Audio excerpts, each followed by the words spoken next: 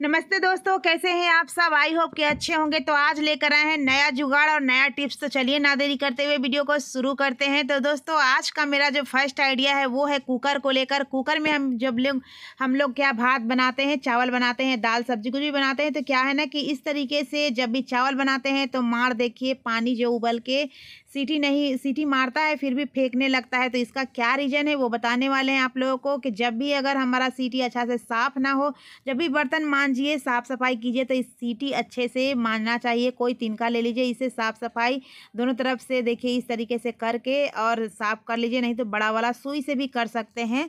तो क्या होगा कि साफ़ कर लीजिएगा अच्छा साफ़ रहेगा तो हमारा सीटी भी अच्छा मारेगा और जो है पानी नहीं निकलेगा। और एक काम है कि जब भी हम लोग दाल बनाते हैं तो हल्दी पीला पीला वाला लग जाता है दाग धब्बा तो यहाँ पे दाग धब्बा ना लगे पीला पीला उसके लिए सीटी में देखिए इस तरीके से तेल लगा लीजिएगा तो भी काम बन जाएगा और पानी उबल के नहीं बिकेगा। आई होप कि दोस्तों टिप्स पसंद आया हो तो लाइक कीजिएगा, क्योंकि ये यूज़फुल टिप्स है, आप लोग एक बार ज़रूर ट्राई कीजिएगा।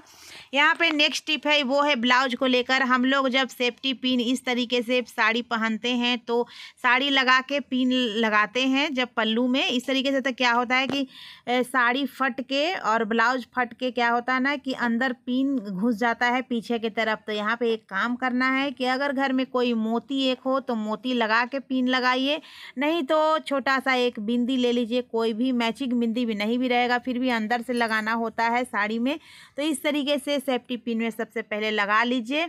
और बिंदी को बिंदी को लगाने से क्या होगा कि बिंदी नीचे की तरफ़ जाएगा तो नीचे हमारा जो हम जब पिन लगाएँगे इस तरीके से तो हमारा साड़ी ब्लाउज का जो फटेगा कपड़ा नहीं, और साड़ी भी हमारा अच्छा रहेगा, क्योंकि छिद्र हो जाता है तो अच्छा नहीं लगता है, फट जाता है।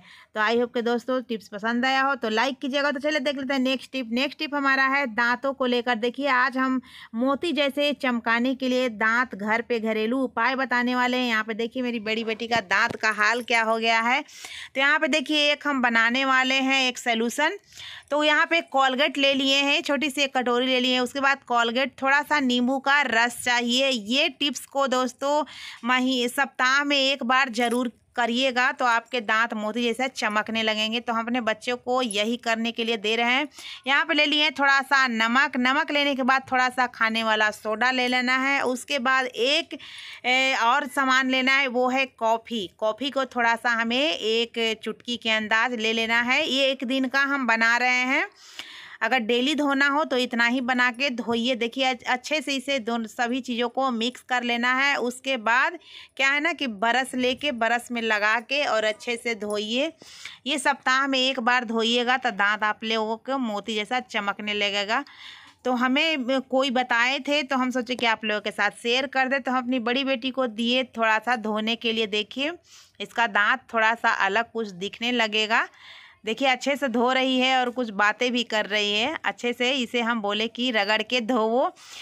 बच्चे जानते हैं कि बच्चे का दांत जो है ना, जल्दीबाजी में रगड़ लेते हैं। देखिए, कितना थोड़ा सा कुछ तो फ़र्क हुआ है पहले के दांत से, है ना दोस्तों?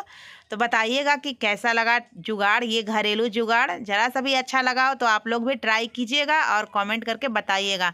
तो चलिए देख लेते हैं नेक्स्ट आइडिया, नेक्स्ट टिप हमारा है, यहाँ पे हम एक सोल्यूशन बनाने वाले हैं, वो है विनेगर का सोल्यूशन बनाएँगे और टॉयलेट में यूज़ करने वाले हैं, क्या है? देखिए दोस्तों, हम पानी ले लिए हैं, सबसे पहले एक बाउल ले लिए हैं, उसके बाद पानी थोड़ा सा डेढ़ चम्मच के अंदाज ले लिए हैं, वॉशिंग पाउडर। कपड़ा धोने वाला उसके बाद ले लेना है हाफ़ चम्मच यहाँ पे खाने वाला सोडा। उसके बाद लेंगे हाफ़ ढक्कन विनेगर। विनेगर का यहाँ पे कमाल देखिए दोस्तों इस तरीके से मेरा सोल्यूशन बनकर हो गया है, तैयार। तो चलिए इसे हम टॉयलेट में यूज़ करते हैं। बरसात के टाइम में हमें क्या होता है ना कि डेली के डेली टॉयलेट गंदा हो जाता है, साफ़ करना पड़ता है बैड स्मेल होते हैं, बहुत सारे कीड़े मकौड़े उड़ने लगते हैं। तो ये सोल्यूशन अगर विनेगर वाला एक बार डालिएगा तो हमेशा टॉयलेट साफ़ करने से बचिएगा। ये सप्ताह में एक बार ज़रूर साफ़ कीजिए और इसे एक दो रोज़ पे बना के सोल्यूशन को डालिएगा तो बहुत ही लाभ मिलेगा। वीडियो ज़रा सा भी यूजफुल लगा हो आज का तो लाइक शेयर सब्सक्राइब